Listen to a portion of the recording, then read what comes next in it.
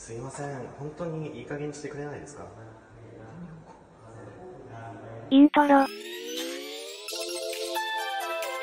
Hello world, this is Dean from Japan and I have to warn you that today's video is a little bit dark and serious. But yes, I'll try to sprinkle some humor and yes, I did practice that movement a little bit. So before I'm going to start talking about my psycho Japanese neighbor, there is a bit of preamble that starts with the question, do you guys believe in supernatural things like fate? and higher power. I actually don't believe in things like fate and, you know, it was meant to be because you create your own destiny. But I actually do believe that some people have a certain propensity to attract certain things. So, what I believe is that people might attract the same kind of events over and over again, whether they intend it or not. So, for example, right, Naomi Osaka might keep getting stupid race-based questions.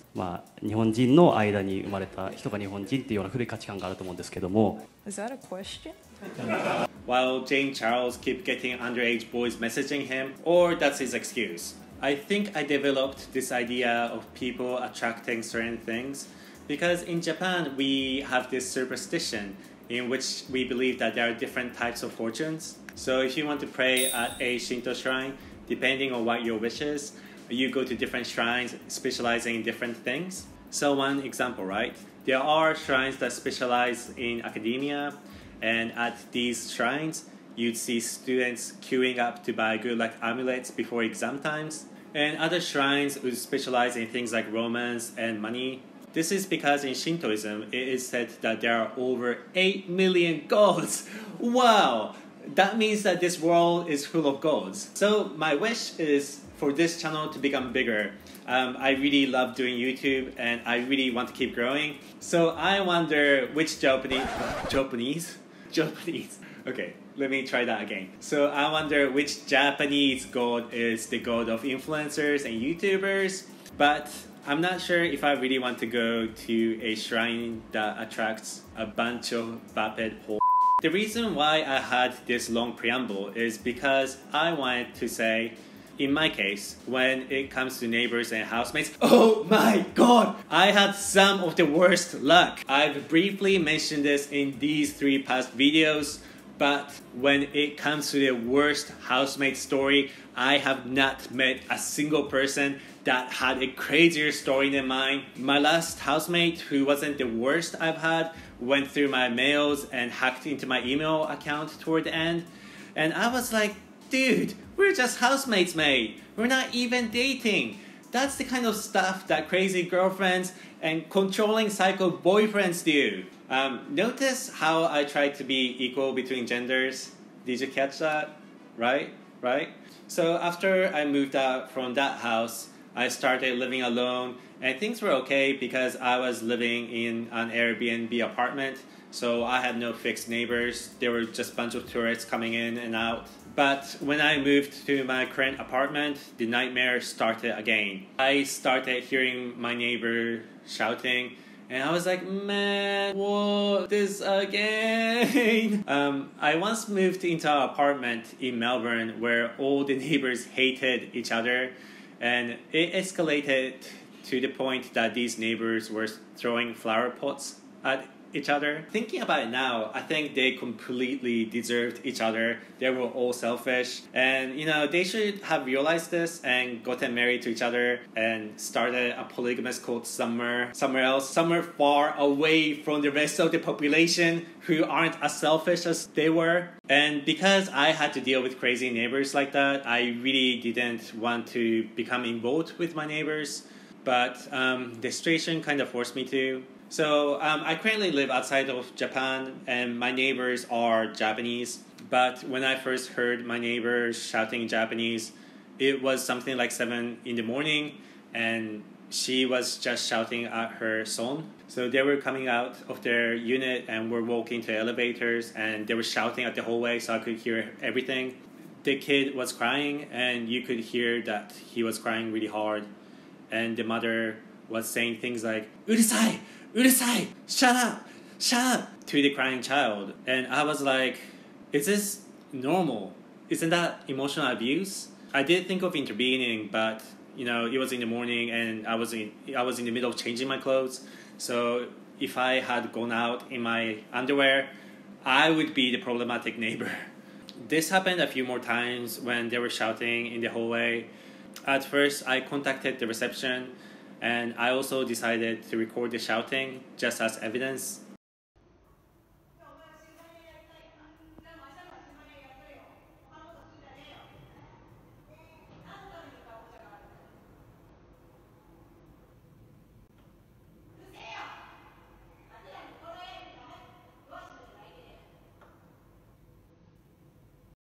So, listening to that, what did you think? Did you think that that was normal? And what kind of woman did you picture in your head when you heard the audio?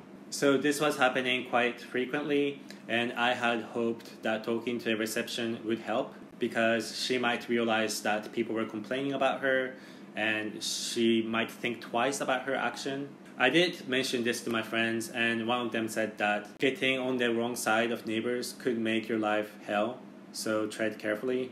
Because of my past experiences with crazy housemates and neighbors, I really didn't want to intervene, but I also didn't think an environment where a kid is being frequently shouted at by his mother was healthy. She was shouting things like, Don't cry, nakuna, and urusai, shut up. So I decided to confront her directly, and this is what happened.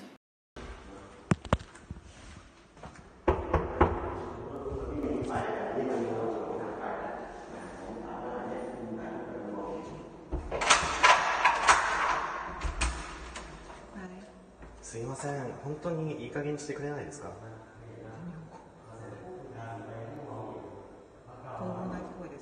あのあのそれともあんたの叫び聞こえるんですけれども本当に不愉快です。ごめんなさい。気をつけます大丈夫なんですか？本当に。大丈夫です。わかりました。子供の遊んでる声とか大丈夫私の怒鳴り声はまあ私があれなんですけど子供の遊び声とか。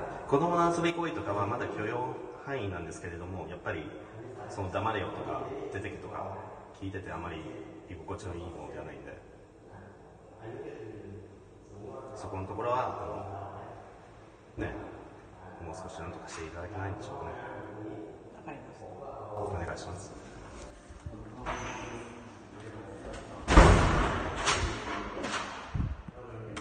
There were so many more things I could have said, but when I saw her and saw that she was this petite, mousy looking woman and not some monster, I was really, really surprised and I completely forgot everything I could have said. So I wasn't able to explain why her action, an adult shouting at a child on and on, was wrong. You might have also noticed that the expression I was using was a bit vague and indirect. That's just how you'd speak in Japanese. We wouldn't directly ask people to stop shouting. So after I talked to her directly, I still I still heard her shouting, and so I just went to the reception and gave them the recording. They took it seriously, and after that, the shouting finally stopped. So that was good. But when the lockdown started last year during the pandemic, I heard her shouting again, and at that point, I just didn't wait at all.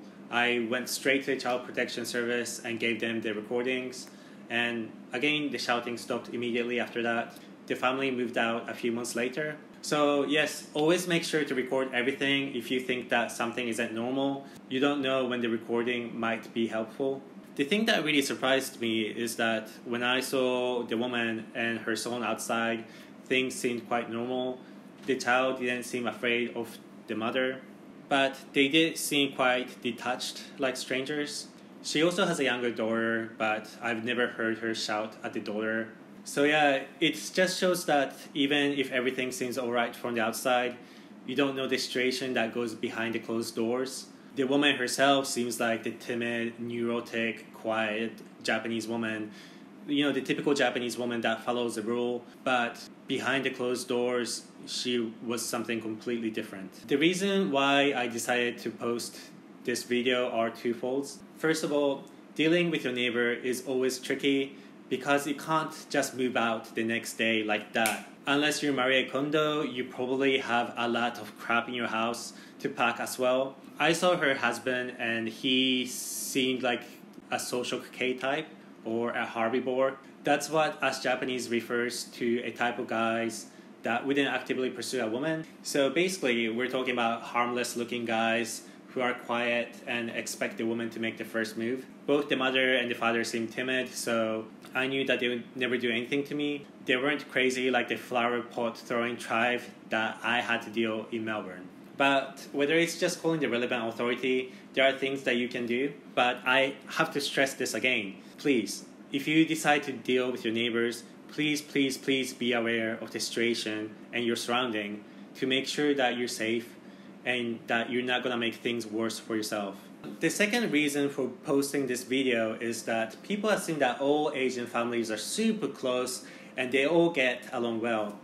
Um, I also think that a lot of people assume that Japan is just like any other Asian country, but we're still an island nation, and us Japanese people are proud to be really different and separate from the rest of the world. We're the Galapagos of Asia. Nuclear family has become common in Japan, but even if we're talking about Asian countries in general, placing an expectation onto people to be close with their family no matter what and turning a blind eye to what is actually happening can be a bit dangerous. This is because awful parents and family members can happen in any race or nationality. This kind of relates to the model minority myth, where people just expect Asians to not have any problems whatsoever and don't require any outside resource or help. I do agree that outside of Japan and maybe even South Korea, you don't really hear about Asian people cutting ties with their own family, which I think is absolutely crazy.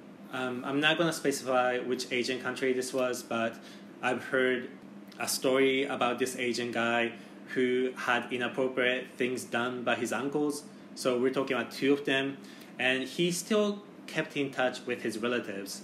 I thought that was absolutely crazy. I understand that not having a family can make things difficult, but sometimes cutting ties with toxic people is the best course of action.